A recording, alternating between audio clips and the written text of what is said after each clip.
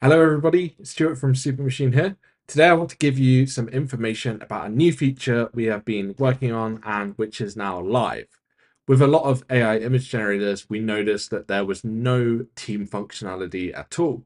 This makes it hard if you want to share your account with a team member, let them generate some images and use it for a project. So that's why today we're introducing teams into Supermachine. We're super excited. So let me show you how this looks on the Supermachine dashboard. Logging in to my Supermachine account, you'll see in the top right here, we now have a team button. With this team button, you can manage your team and you can also see team folders. Whilst I'm in my account, I'll just scroll down to show you some of the images that I have been generating recently and then I will show you the team view. So these are a couple of different images that I've been making. And if I click the team view, you'll see that I have a specific album here. Now, this album is made as a default when a team is created. So whenever anyone within the team on a sub account creates an image, it will automatically create it in this album. Likewise, we also have a members tab and you'll be able to see the sub accounts that are within your account. And you'll also be able to click this button if you want to invite other members. Now you need to have the invites in your account and I'll go over that in just a moment. And once you've added different accounts, to your team, you also, as the main account holder, have the ability to delete the users if you would like.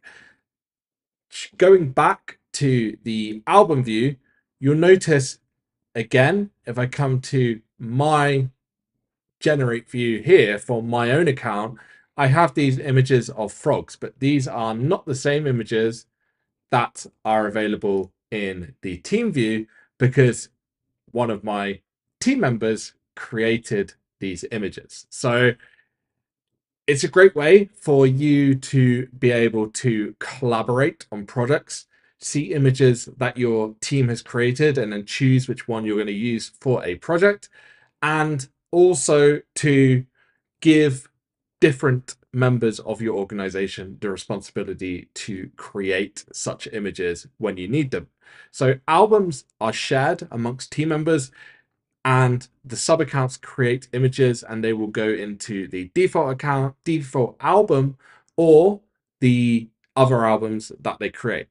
Any albums that they create will be visible by the main account holder and also all of the other sub account holders for that team.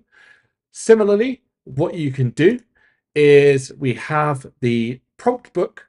Remember, the prompt book is a way that you can sort of save a prompt that you like working with. It will save the prompt, it will save the negative prompt, it will save the step count, the sampler, the model, everything. What we've done is we've also added team functionality to the prompt book. So you'll see that there are a bunch of different prompts that we have as default within the account. But what we can also do is we can hit team prompt and you'll see that I have one which I've saved, which is this froggy. So it's a great way for you to collaborate, find things that work, save them to your prompt book and delegate and give other people on your team the different responsibilities to take action and really sort of level up your creative process and make it better than ever before. This is the team account introduction. I'm excited to see how people use it.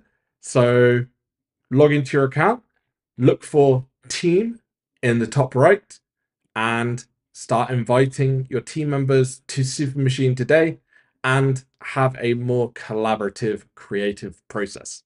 Thank you.